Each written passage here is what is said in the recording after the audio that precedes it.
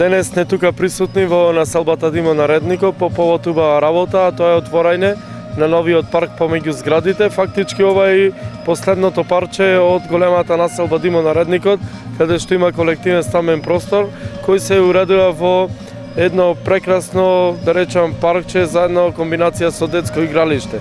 Станува збор за а, околу 1500-2000 метри квадратни површина уредена со бекатон патеки со а, водени површини, значи со детско игралиште, зелени површини, корпи за отпадоци друга опрема.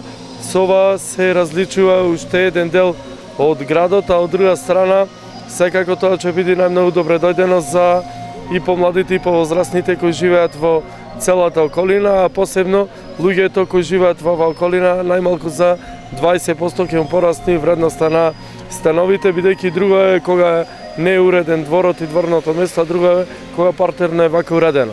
Локалната самоуправа и понатаму ќе продолжи со уредување на сите слободни површини и изградба на централни паркови во секоја поголема урбана заедница со цел да луѓето од секоја урбана заедница имаат место каде може да поминат дел од своето слободно време за сите генерации од 7 до 70. Е, убаво направивте се да си игра децава, че си се радува. Ние големите навечер че си седиме, че до 11 сато, убаво че ни врви времето.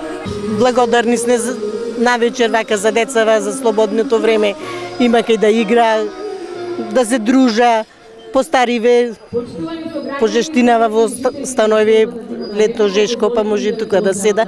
Со ова завршуваме овој комплекс на згради и едино што можам порака да дам до граѓаните, ние го направивме, а тие да го чува.